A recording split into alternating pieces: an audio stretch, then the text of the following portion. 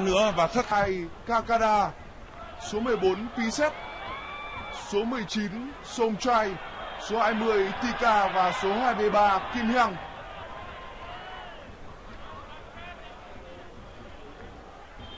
Quả đá phạt đầu tiên dành cho đội U16 Việt Nam ở trận này.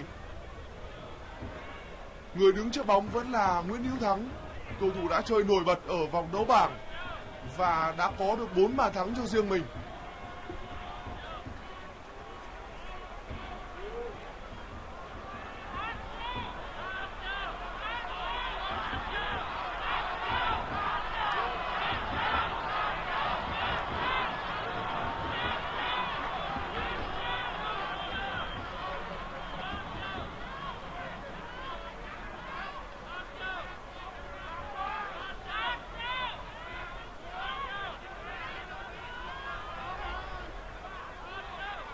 Ở vòng đấu bảng thì đội tuyển U16 Việt Nam đã có 3 bàn thắng xuất hiện từ những tình huống đá phạt như thế này.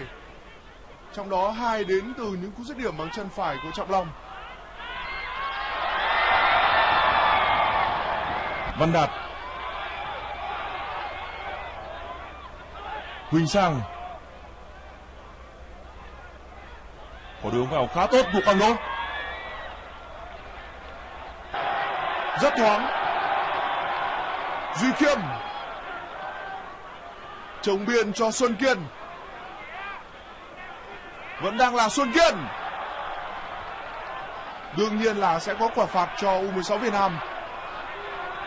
Một pha đè người rất tốt của Xuân Kiên và tạo ra lợi thế trong pha tranh chấp tay đôi.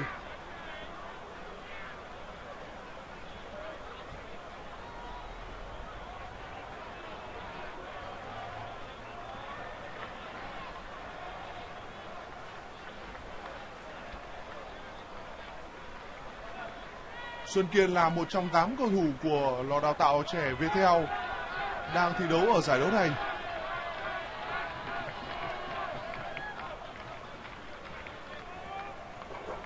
Một quả phạt rất nguy hiểm được đưa đến cái chân của Trọng Long. Cầu thủ đã có hai bàn thắng từ những tình huống đá phạt trực tiếp.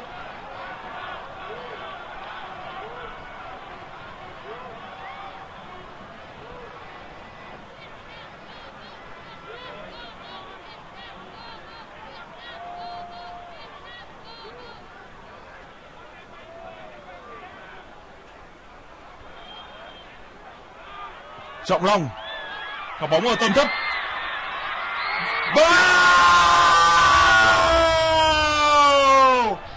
Người ghi bàn là Khắc Kiêm, bàn thắng thứ năm của Khắc Kiêm ở giải đấu này. Phẩm chất của một tiền đạo chơi rất tốt ở khu vực 16m50 đã được Khắc Kiêm thể hiện ở tình huống lộn xộn vừa rồi. Khắc Kiêm có mặt ở điểm nóng và dứt điểm khi mà không có ai can thiệp vào em ở pha bóng vừa rồi.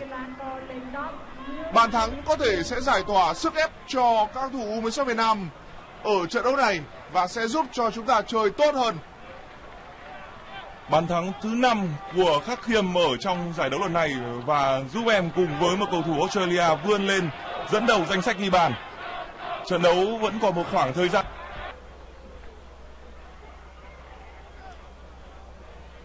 Duy Khiêm không được. Ở những phút vừa qua, có vẻ như chia sẽ dồn lên.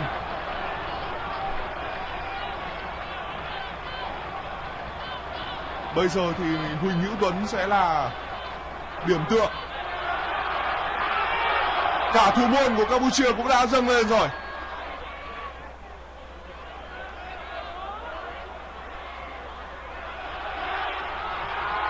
Phản công, phản công cho U16 Việt Nam khi mà không còn thủ môn nữa.